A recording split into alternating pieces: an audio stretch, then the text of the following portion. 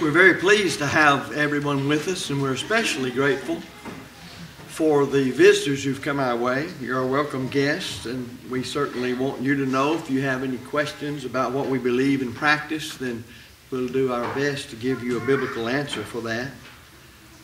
We, as the Church of Christ, simply are trying to be what you read of in your New Testament. We're not interested in trying to be a denomination. We can't find those in the New Testament, at least where they're condoned and recommended. We're interested in following the divine infallible pattern or the New Testament blueprint for having the Lord's church as it was 2,000 years ago. Now, the reason for that is that's the way that's right and can't be wrong. We're not interested in going against the authority of Jesus Christ as he manifested in his inspired word we constantly remind ourselves that whatsoever we do in word or in deed, do all in the name of the Lord Jesus, giving thanks to God the Father by him, Colossians 3.17. If what you believe today concerning what Jesus wants you to do to be saved and be faithful is taught in the Scriptures, you don't need to change. If in reviewing your life in all honesty before God, you find that things that you're believing and doing is contrary to the last will and testament of Jesus Christ, then we would urge you to change. Because that's what Christ came to get people to do, is to change, to follow His will, and be saved thereby. We've been engaged for quite a few weeks in a series of studies that we're calling the Word of Reconciliation. Each one of these lessons is designed to stand on its own and yet they're all connected. And those who followed with us can realize if they think about it, they're all connected because it's designed to help a person who's trying to understand in this mess that religion is in today just what pure primitive New Testament Christianity actually is. And what we're actually doing as we go through the study of the Word of Reconciliation is actually unfolding the book of Acts and understanding how the church, after its establishment in Acts chapter 2 on the day of Pentecost following the resurrection of Christ, went out carrying out the Great Commission, which our Lord had given the church, and He's still giving it to us as our responsibility. Go ye into all the world and preach the gospel to every creature. He that believeth and is baptized shall be saved. He that believeth not shall be damned. Mark 16, 15, and 16. We see how the church first began to spread. And we see people hearing the Word of God, the gospel of Christ, which Paul said is God's power to save us, Romans 1.16, as it was heralded throughout that land and those regions so many, many years before. I want to read to you again why we're calling this the Word of Reconciliation. It comes from the pen of the great Apostle Paul in his writing in the second letter to the church in Corinth, 2 Corinthians chapter 5. We read beginning in verse 18, and all things are of God, who hath reconciled us to himself by Jesus Christ, and hath given unto us the ministry of reconciliation. He's speaking, of course, of the word of the apostles, who are the ambassadors of the court of heaven. That is, by the Holy Spirit, they were miraculously guided to set out the will of heaven.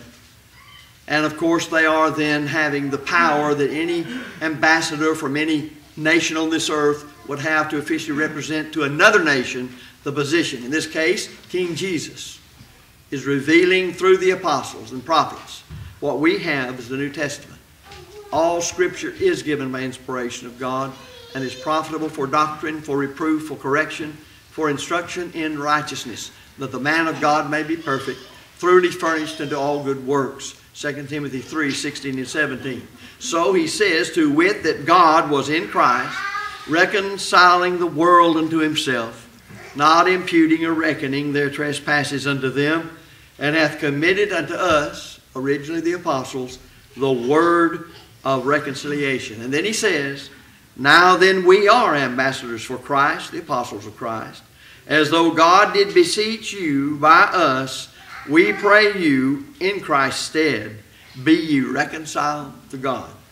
The plea of the Lord's people from that time to this and for faithful churches of our Lord until the end of time will be that men be reconciled to God. And the only way that that's possible, through the word of reconciliation. And that's why Paul told Timothy, preach the word. Be instant in season, out of season. Reprove, rebuke, exhort with all long suffering and doctrine. So we want to emphasize uh, in this particular lesson the word of reconciliation reaches Samaria. I go back for a moment to point out that that portion of the land of Canaan, Samaria, when the children of Israel came to take up their abode there, fell to the lot of what we know as the ten northern tribes. The two southern tribes that would make up later on in the divided kingdom, the kingdom of Judah, would be Judah and Benjamin. Here they lived as a part of the united kingdom of Israel under the judges and then under in the united kingdom David, Solomon, and before that the first one Saul, each one ruling Saul, David, and Solomon 40 years. And they stayed in that land, counting the united kingdom plus the divided kingdom, for about 470 years the son of Solomon, Rehoboam, rashly took the advice of the young men rather than the wise and older men who had recommended that if you're going to make this kingdom be what it ought to be, then you need to lighten the burdens of the people because Solomon had taxed them severely. That's what the elderly men said. But the younger men, his own age, told him, no, just pile it on him a lot more. And so he responded by saying, if you thought daddy was tough, just sit by and watch what I'm going to be. And therefore the kingdom divided. And the northern kingdom of Israel came into being with the ten tribes I mentioned a moment ago. And a fellow by the name of Jeroboam, the son of Nebat, became the first king of the northern kingdom. And here they lived under various kings. Most all of those kings were very wicked people. They lived there about 235 years. At the end, toward the close of this time period, when Hoshea was king, Scripture tells us that the king of Assyria came up throughout all the land and went up to Samaria and besieged it three years. Well, the siege was successful and Samaria was subdued by the Assyrians and was carried into what we know as the Assyrian captivity. Well, in those days, those eastern countries tended to depopulate the countries that they conquered. And they would take the best they had back and incorporate them into their own countries.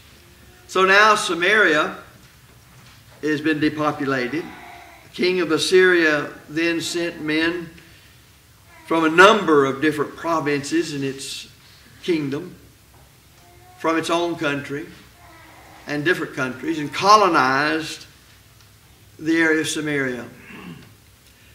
These, of course, colonists, you'll call them that, were idolaters. They were pagans. And they worshiped various images and various gods of their own making. These they had, of course, worshipped back in their former homes. They hadn't been there long until they got into trouble. And while the children of Israel had been carried off because of their unfaithfulness to God, that's the whole reason it happened, still these were trespassers in a land God had given to his own peculiar people. So here's what the scripture said The Lord sent lions among them, which slew some of them. Well, these people believed there were God's many. That each country had a God that looked after the well being of that specific uh, people, or those specific peoples of that country. They thought the trouble, if you read the text, that they were in came as a result of them not knowing the gods of that particular part of the land. Well, hearing of the trouble, then the king of Assyria sent some of the priests he had carried away captive that they might teach them the manner of the God of this land. And these priests came back from captivity to Samaria and taught them, at least partially, and I have to underscore partially, the law of Moses. And they began to worship according to its requirements, somewhat at least, yet they continued to serve their graven images. Now, if you want to read specifically this whole history, just go to 2 Kings chapter 6, 17, 2 Kings 17, and you can find out all about this in the divine volume. Well, here was the beginning, because I have entitled this, The Word of Reconciliation Reaches Samaria. Another way of saying the gospel of Christ reaches Samaria. This was the beginning of a mongrel religion and a mongrel people that existed in very large numbers some 700 years afterwards when Jesus, in the flesh, walked this earth. Well, remarkable it is to relate this. We see a small remnant still live there even to this day. You don't hear about them any, but they still go up on Mount Gerizim and they offer worship according to the Samaritans. They're very few in number, but they're there. And they were there during the lifetime of our Lord on this earth. And they observe many of the rites, but they are contrary to the law, even as they were when the law of Moses was still for the Jews. Jesus even told them that salvation is the Jews when he met with the Samaritan woman there in Samaria while he was on this earth. When Jesus sent the twelve on their limited commission, he said that they were to go into the city of the Samaritans. That is, they were not to go into the cities of the Samaritans, but they were go to the lost sheep of the house of Israel. They weren't even to go to the Gentiles, non-Jews. But now, after his death and resurrection and ascension, and after committing the word of reconciliation, and the church was begun in Acts 2, and that word of reconciliation, the gospel had worldwide application, as it does even to this day. Here is exactly what he said. He said, Ye shall be witnesses unto me both in Jerusalem and in all Judea and in Samaria and unto the uttermost part of the earth. Acts 1 and verse 8. Now, if you read through the book of Acts, as I hope you will if you haven't, you'll see that the early church and spreading the gospel followed that plan. They first, where the church was established, preached the gospel all around Jerusalem, then Judea, which is where Jerusalem's found, and then they went to Samaria, and from there they spread throughout the whole world. This also shows us their concern to follow very closely with what the Word of God said, to be sure they were pleasing to their God. Now, here, at this time, the human race was divided into three classes and I make the Samaritans the third class because we all know there's Jews and Gentiles, Gentiles and non-Jews. But there were the Samaritans, as we've just noticed. They would be considered a part of the Gentile world by the Jews, but nevertheless, they weren't true Gentiles as a Greek or a Roman might be. The word of reconciliation was to be carried to everybody, and so they set about to do it. And they carried it out, I remind you, according uh, to the order that we just read. The work began in Jerusalem, and its life giving message reached Samaria by the mouth of the evangelist Philip. The history of the conversion of the Samaritans, and it's a very interesting one, is found in the eighth chapter of the book of Acts, the book of conversions in the history of the early church from its establishment the first several years after its existence in preaching the gospel and showing various cases of conversions in the process of preaching. Let me remind you that Philip himself was not one of the apostles to whom was committed originally the, work of the word of reconciliation. The early church understood how the Lord was putting his will on this earth. In Acts 2, in verse 42, as the church was established, People had heard the word, they'd believed it, they'd been baptized for the remission of their sins. The Lord had added them to His church. And we find that the church, striving to do only what the Lord said, not having a completed written down New Testament, that they understood if we're to follow the Lord, we must listen to His divine ambassadors, the ambassadors of the court of heaven to earth. And that was the apostles of Jesus Christ. And we find that the church understood this because Acts 2.42, the inspired Luke who made the record said, and they continued steadfastly in the apostles' doctrine. But we see that Philip then was one we would call one of the early evangelists. And with common, uh, in common with others of his time, remember they had no New Testament. It hasn't been revealed yet. Well, how are they to live the Christian life? They had direct guidance of the Holy Spirit. And he had the power to prove that what he was saying was from heaven and not from men because he could confirm it by miracles, signs, and wonders that he did. And that tells us again, as we studied earlier, about the design and purpose and even the end of miracles. So he had the gifts of the Spirit. And we learn from Paul's own writing in Ephesians chapter 4 and verse 12 the purpose of those gifts in view of the fact they had no completed New Testament. It says they were for the perfecting of the saints for the work of the ministry, for the edifying, building up spiritually, of the body of Christ. Ephesians 4 and verse number 12.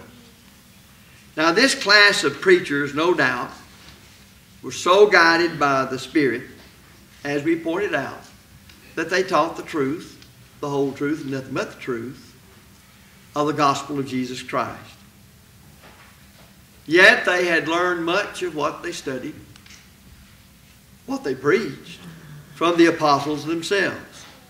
I know that because what Paul said to the young preacher Timothy in 2 Timothy 2 and verse 2 The things that thou hast heard of me among many witnesses, the same commit thou to faithful men who shall be able to teach others also. And yet they were human. They had the same fallibleness that we do. They were not infinite, they were finite. They had their human frailties. Well, how in the world are you going to get a perfect law without it being tainted into a world like this through men like this?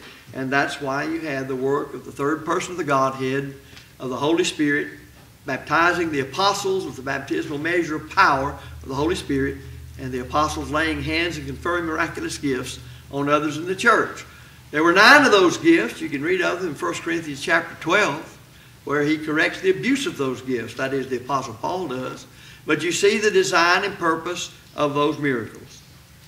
Now, this extension of the word of reconciliation to Samaria, I guess you could say, speaking according to modern terminology or parlance, was the first real missionary, the way we use it today, work of the church.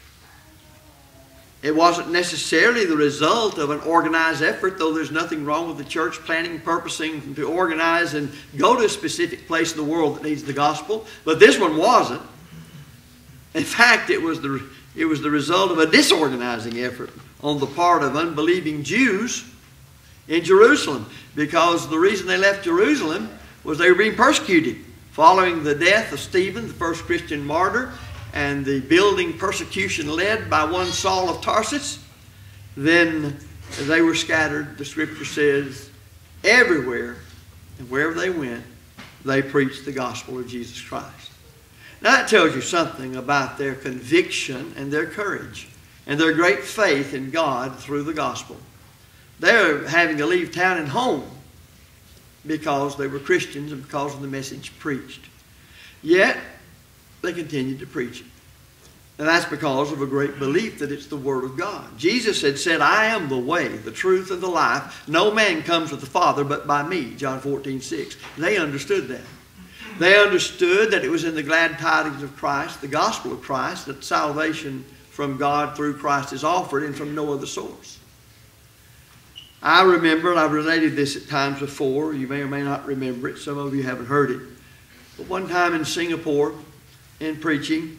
The cab driver who was taking us from one place to another, several preachers in the cab, thought he would chime in, I guess, because we found out we were preachers, and began to say, well, it's nice and wonderful that we can all approach God in our own various ways, and uh, we all serve Him whatever. And, uh, you know, you don't have a lot of time to preach in a cab. And I just spoke up and said, well, what about this?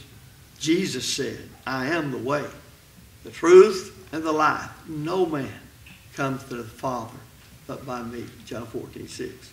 He didn't say anything else. Wish you had. Wish you had enough interest to say, well, that sheds a little different light on the subject. It's not many ways to heaven. Jesus said there's one way. It's through him, and it's through his gospel. The early church understood that.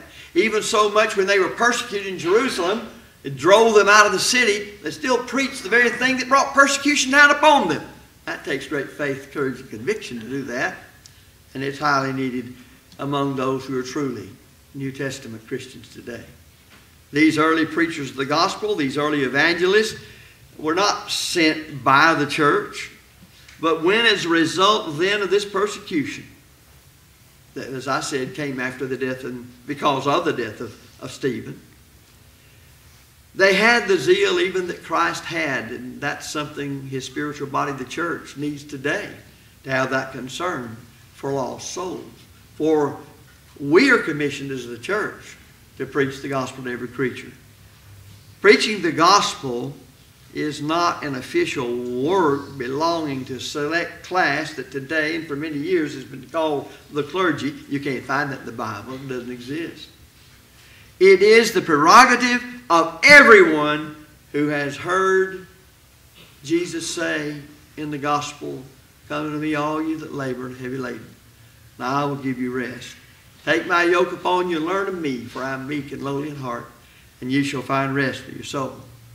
And there, toward the end, before the pen of inspiration is laid down forevermore, John in Revelation 22 17 has Jesus saying, Come. And those who have come, believed, and obeyed the gospel, and been baptized in Christ, every single solitary one of them, according to their several ability under the authority of Christ, every member of the church is obligated to teach others the gospel of Christ. There is no clergy laity system in the Lord's church. Everybody are members in particular, each according to their own several abilities, striving to serve the Lord and preach the gospel as good stewards of the Lord's will and living it out in their daily lives. J.W. McGarvey, in his commentary, speaking of the scattering of the disciples because of persecution and their preaching, has this to say. The result was the rapid spread of the gospel into the cities of Judea and even unto Samaria.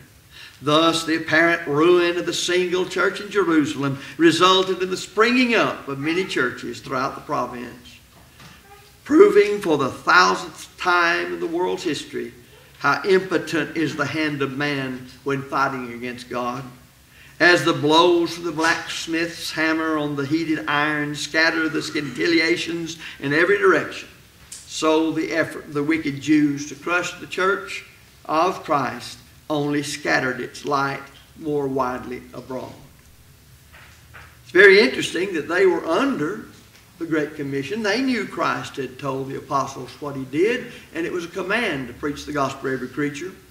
But they weren't going, they were staying and even God, through the unbelieving Jews' persecution of the church and scattering them because of that persecution, used it to get the gospel out to a lost and dying world. There may be a message in that for us, brethren. Guided by then a divine providence, we find that Philip went down to Samaria. Now, it's important to realize that when you read about the geography, and that being inspired word of God, it mentions geography, and it says up, and it says down, then it means up and down. Everything from Jerusalem is down because it's so far up. And so the scripture's right, and it says Philip went down to Samaria. That's about 40 some odd miles uh, northwest from Jerusalem.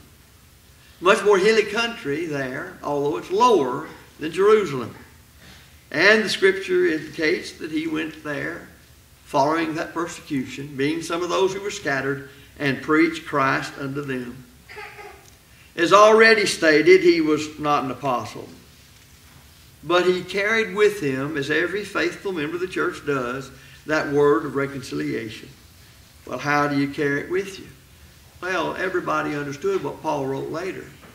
Study to show thyself approved unto God, a workman that needeth not to be ashamed, rightly dividing the word of truth. 2 Timothy 2 and verse 15. There's no way that you can read the New Testament, especially the book of Acts, and not see that the church is fundamentally and primarily a teaching institution.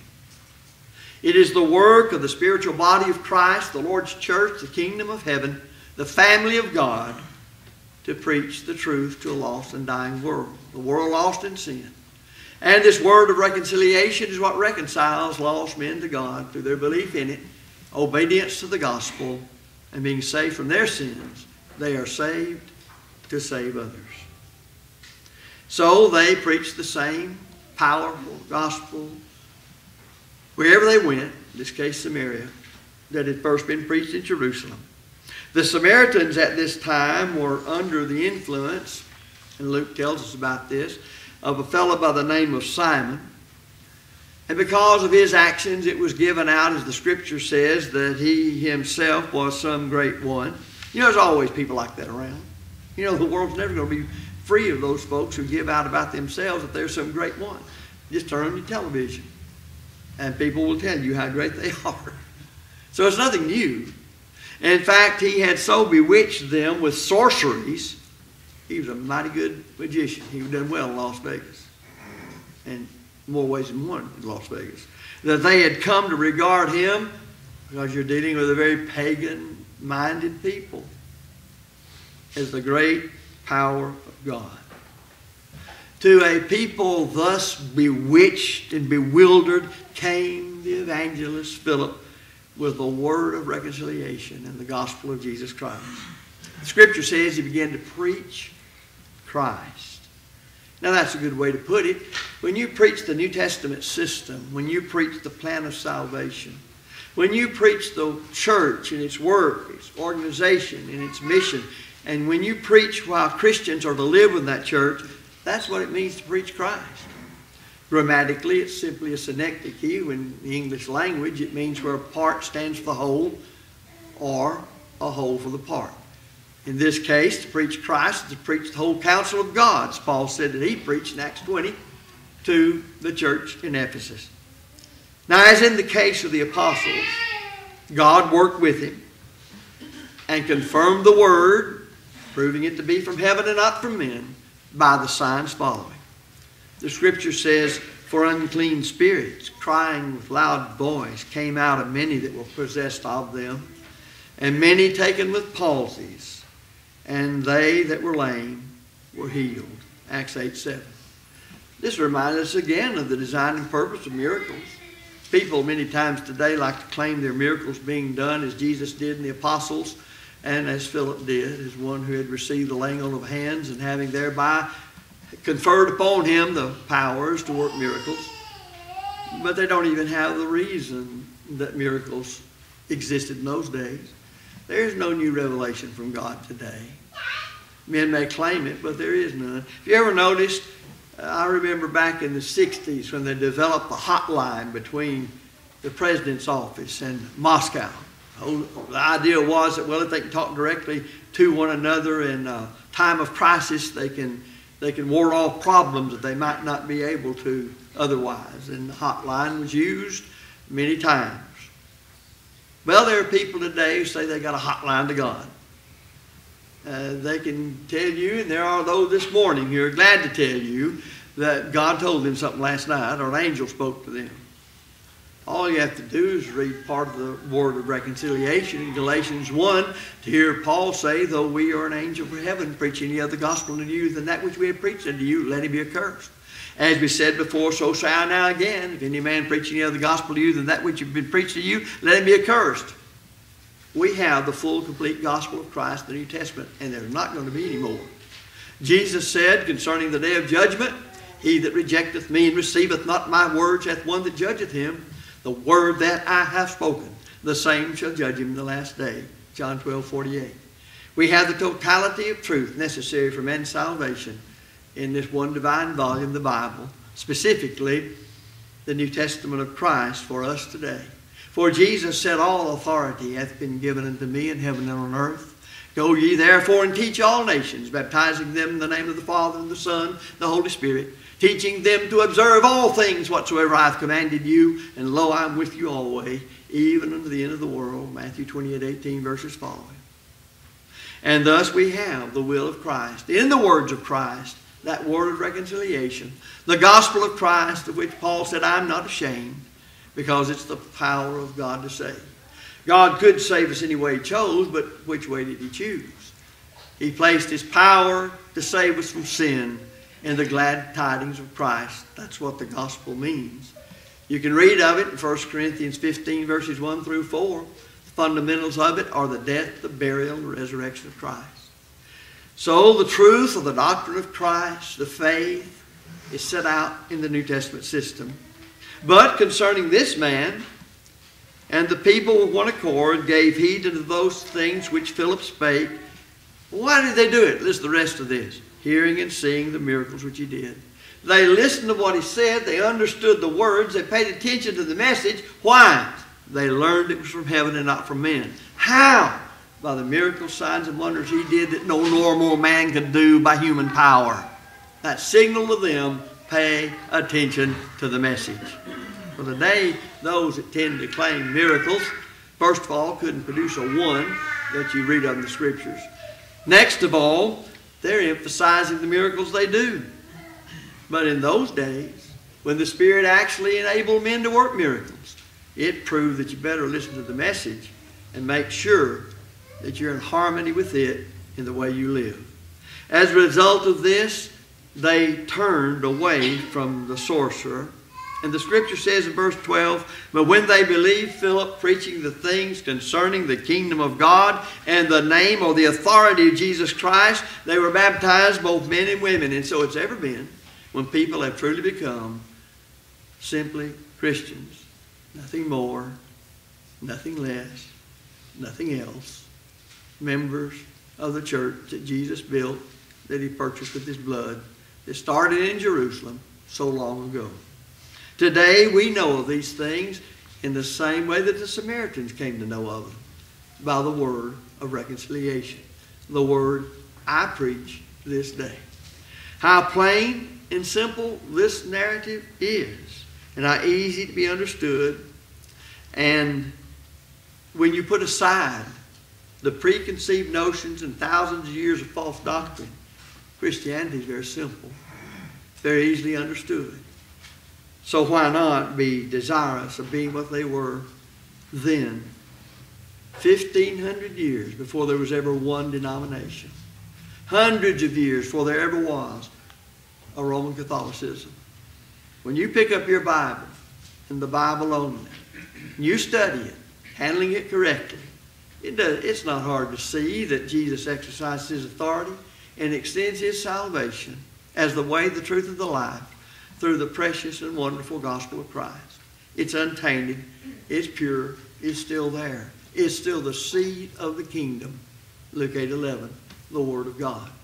If we will sow that seed, that is, if we will teach what they taught that's in our New Testaments today, we'll be what they were.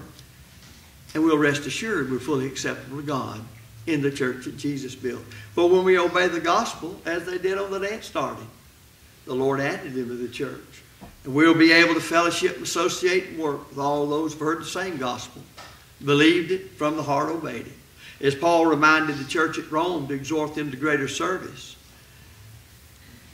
To God be thanked that you were the servants of sin, but ye have obeyed from the heart that form of doctrine which was delivered to you.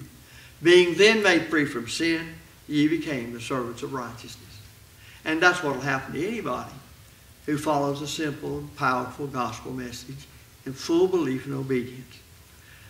Attention has heretofore been called to the fact that the writer of Acts does not give all the cases of reconciliation with the same minuteness that he does in those that are recorded therein, and even some of them much more detailed than others.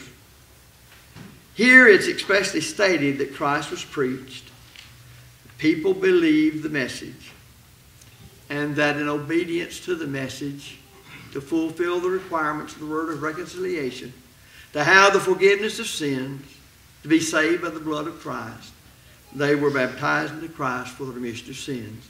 Galatians 3 26 and 27.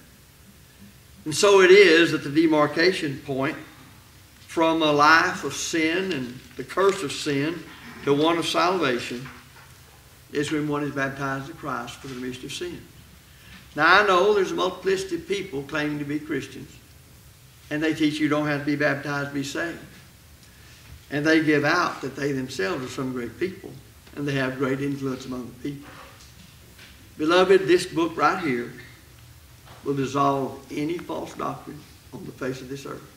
And it's full of material saying that the false teachers will come and the false teachers will teach. Over and over again, Jesus and others said, Be not deceived. Over and over again, they said that false teachers would come, not announcing they were false teachers, and if you believed them, you'd lose your soul, but they would be as wolves in sheep's clothing. The work of a false teacher is to deceive. Now, how do I know whether a person's right or a person's wrong? You can't unless you study the scriptures for yourself. Now you say, but you preach the truth. Can I understand that way? Yes, you can. But if you don't have enough interest to sit down and study the Word of your God on your own and learn how to study it, what does that say about your own concern for God in your life? The reason people are what God intends for them to be is because they hunger and thirst after righteousness. Now, I know what it means to hunger and thirst after regular food, and you do too. Do we have the same desire to know the Word of God and put it into practice? Jesus pronounced the blessing only on those who hunger and thirst. He says that class of people will be filled. Matthew 5. So we're asking you to exercise your desire to know the truth and checking out everything I say to see if I gave you the pure Word of God and to daily search the Scriptures. In them you think you have eternal life, and they are they that testify of our Lord. Do you hunger and thirst after righteousness? To become a Christian, you must believe on the basis of the teaching of the Bible that Jesus Christ is the Son of God. Following that, you must repent of your sins, Acts 17.30. You must confess your faith in Christ, Romans 10.10. And you must complete your obedience to the gospel to become a Christian by being baptized for the remission of sins. If you haven't done that, you're not reconciled to God. You're outside of Christ. You're lost. And yet Jesus still says, Come unto me, all you that labor heavy laden. I'll give you rest. Take my yoke upon you and learn of me, for I am meek and lowly in heart, and ye shall find rest unto your soul. Well, you do that by hearing, believing, and obeying the gospel, and then as a Christian in the Lord's church, with others who've done likewise, you serve him faithfully till time is no more. The Lord's coming back someday to judge the world. Don't know when that's going to be. But we know this, it's appointed unto men once to die, and after that the judgment. Now we prepared to meet the Lord once we die, because that's coming. And following that is the judgment, where we shall give an account of the deeds done in the body while we were here to the Lord, in the light of the divine standard of the New Testament system. If as a child of God you've sinned, we urge you to repent, come confessing those sins and praying God for forgiveness, for that's God's second law of, of, of pardon for the member of the Lord's church. Are you subject to the will of Christ? He loves you. He wants you to become a Christian. There's only one way to do it, and that's His way. And I have no authority to alter that, to compromise it, to water it down, to fit anybody's desires. Without apology, then, I offer you the great invitation of our Lord and Savior Jesus Christ while we stand and sing.